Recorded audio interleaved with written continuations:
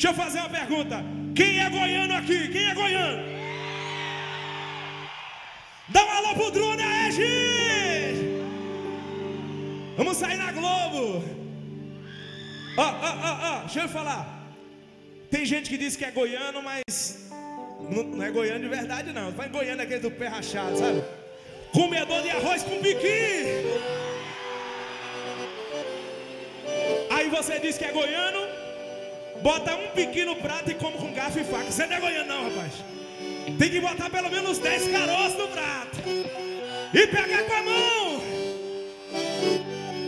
Essa aqui, essa aqui é em homenagem a esse estado maravilhoso de Goiás. Se eu vim em Goiás e não cantar uma moda dessa é porque eu não vim. Se liga. Existe só um jardineiro que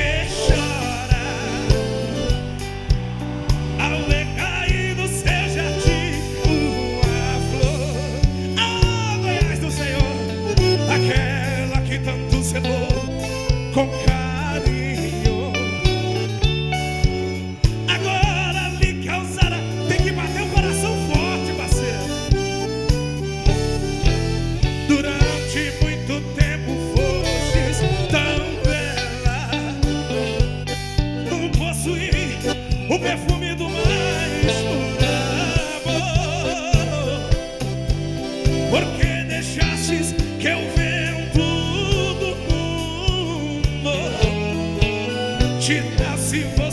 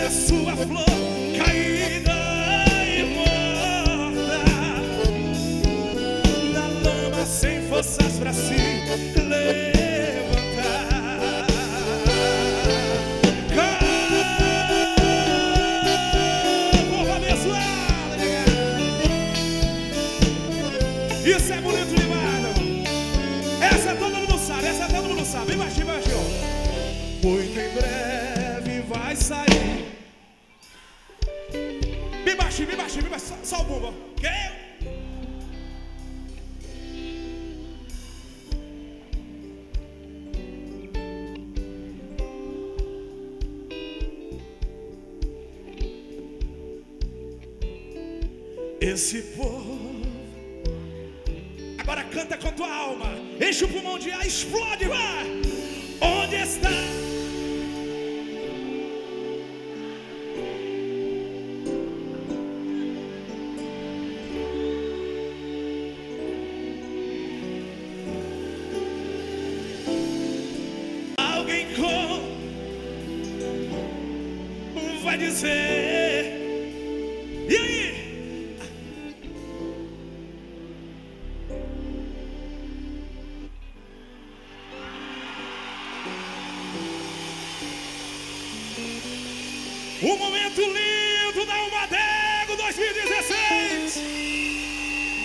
Assembleia de Deus não pode perder a sua essência.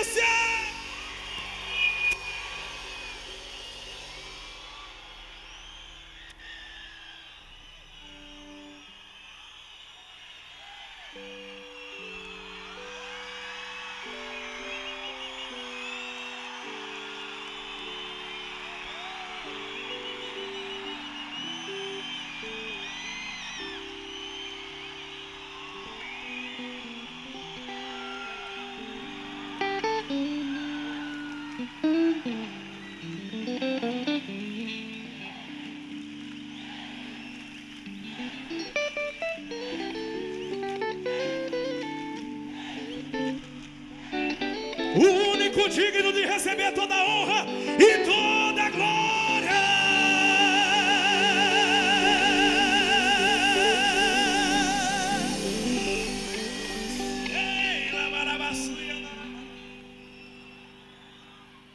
Deixa eu dar uma notícia para vocês. Eu estou sentindo a glória de Deus nesse lugar.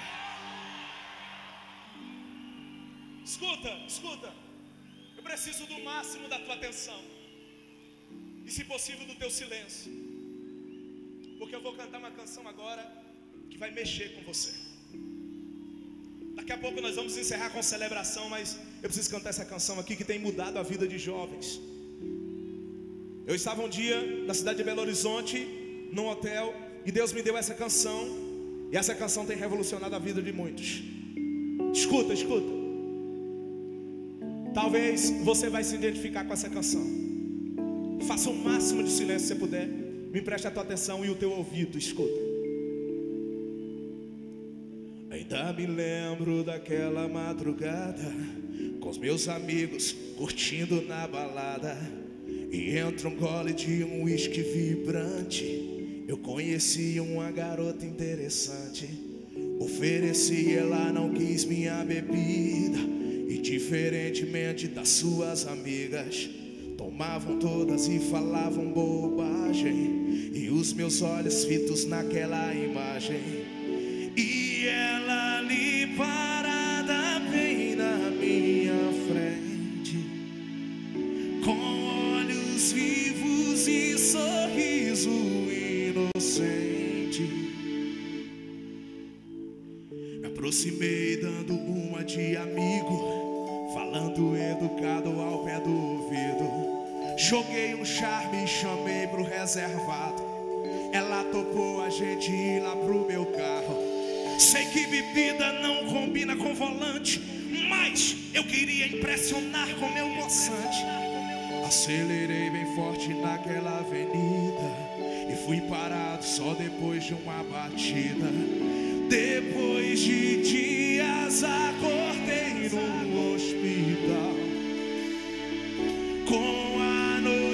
notícia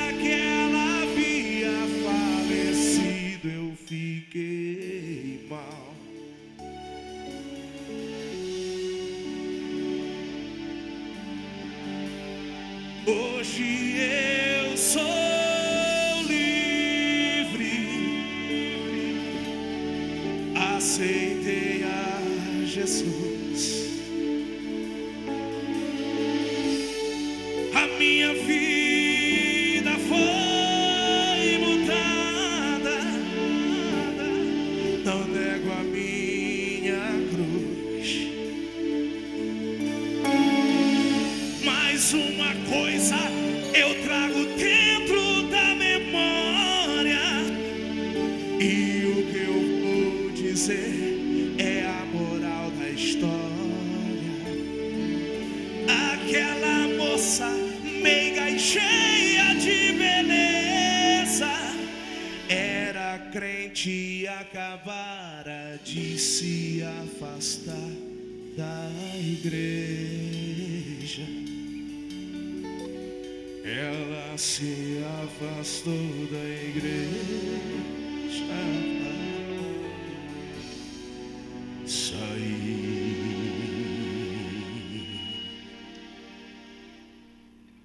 Sabe qual é o problema? Sabe qual é o problema? É que tem muitos jovens que estão se afastando dos caminhos do Senhor.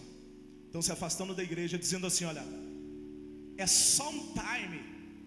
Eu saio, mas depois eu volto. Sabe por quê? Escuta, eu estou falando isso que eu sou filho de pastor, minha família é toda de pastores, e eu sei o que é que se afastar da igreja. Eu estou falando isso para você porque tem muito jovem que está se afastando e ninguém se afasta dos caminhos do Senhor, dizendo assim: ó, eu vou para o mundo e nunca mais eu volto. Ninguém faz isso. Todo mundo diz assim: ó, é só um tempo. Eu vou passando a pecuária, passando o carnaval, passando as festas. Eu, eu vou lá dar uma curtida, uma pegação, aí eu volto. E tem muito jovem que está se afastando nessa intenção e não estão dando conta mais de voltar.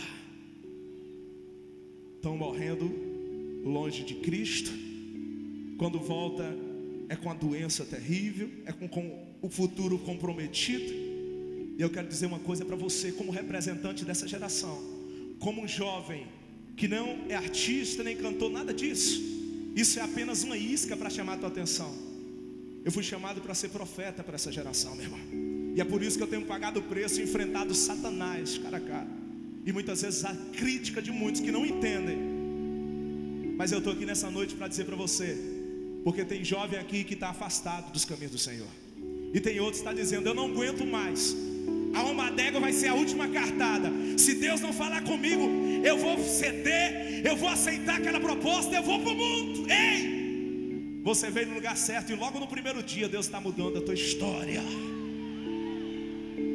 A tua vida não é para o mundo, Deus te chamou para fazer diferença nessa geração. Você é santo, você é santo, tu és um jovem forte, e por isso nessa noite eu te digo em nome de Jesus: não se afaste dos caminhos do Senhor, porque um segundo longe da presença de Deus é o suficiente para uma eternidade distante dEle. Que você tome decisão nessa tarde, nesse início de noite, diga: Eu jamais vou me afastar dos caminhos do Senhor.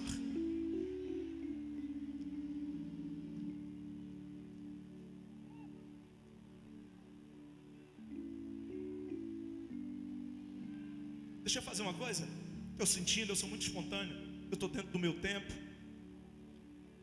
E eu não vim aqui nessa noite, nessa tarde, para vender CD ou para divulgar o meu trabalho. Não, eu vim aqui porque a liderança achou por bem me convidar.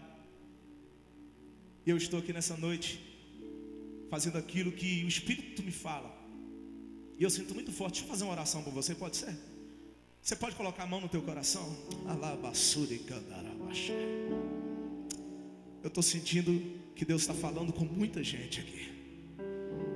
E como representante dessa turma, dessa moçada, eu não posso sair daqui apenas trazendo música para você, apenas balançando o teu esqueleto, que é maravilhoso, é muito bom dançar na presença do Senhor. Mas não tem nada comparado a você ser, estar quebrantado na presença dEle. Deixa eu orar por você, Deus. O Senhor conhece a sinceridade do nosso coração. E é nessa tarde, nessa oportunidade que o Senhor está me dando para falar para milhares de jovens, como o Senhor tem me levantado nessa nação, em tantos estados. Eu quero aproveitar esse momento para dizer: Deus, não preciso gritar, não preciso falar palavras difíceis, só preciso dizer que o Teu Espírito venha de encontro à necessidade de cada coração, e como água limpa, como tanques de águas puras caia nesse coração de terra seca e que venha inundar essa alma. E que nesses dias de uma adega, nesses dias de congresso, a vida desses jovens sejam transformadas para sempre. Que não dure apenas quando dizer amém no congresso, mas que possa ser combustível para o ano de 2016 e para o resto da vida. Eu digo isso em nome do Pai, do Filho e do Espírito Santo. Quem recebe isso, diga amém e faz barulho.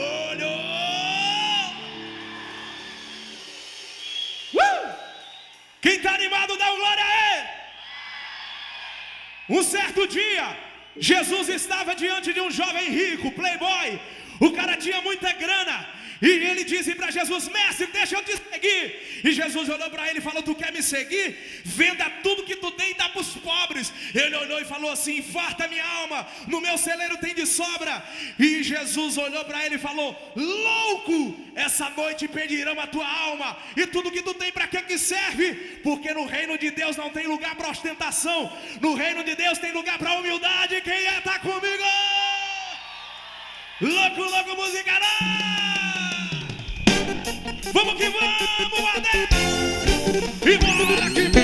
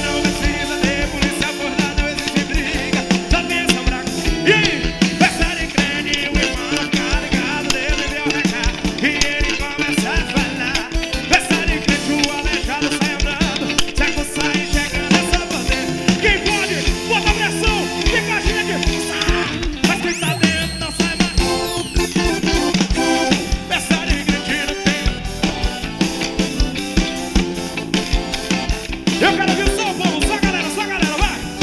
Mas quem tá dentro não sai mais. Festa de crente. E glória a Deus e aleluia, muito fogo e o som. Joga a mão pra cima e bate na palma. Vai, vai! Que coisa linda, Goiânia! Isso é a juventude do avivamento. O povo mais feliz da terra.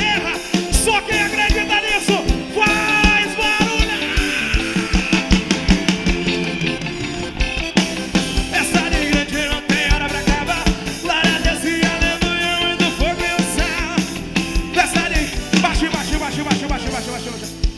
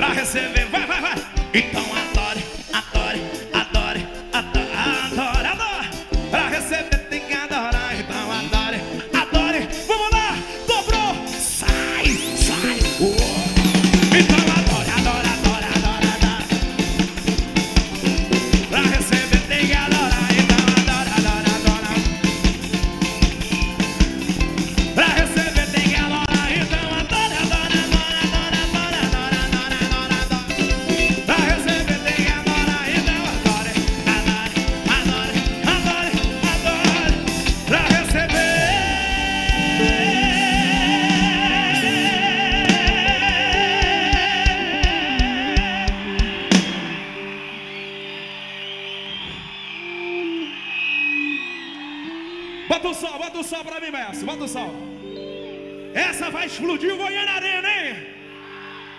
Essa vai marcar aí. Eu quero ver você jogar a mão pra cima, é. Quero ver você que ama Jesus Cristo, é. Vou dar uma ideia, soltar a voz. Quem ama Jesus Cristo dá um grito e diz é nós. Então quem Jesus Cristo dá um grito e diz é nós. Grito e diz é nós. Olha pra essa pessoa do lado, olha pra ele, olha pra ele, olha pra ele. De cima a baixo, de cima a baixo. Fala assim, nós estamos juntos. Fala assim, ó, nada vai separar a gente. Fala assim, estamos unidos em Cristo. Fala. Fala assim, nós somos jovens, fortes. Somos um adego. Somos Jesus Cristo. Quem ama Jesus Cristo dá um grito. Quem ama Jesus Cristo dá um grito. Quem ama seu irmão dá um grito.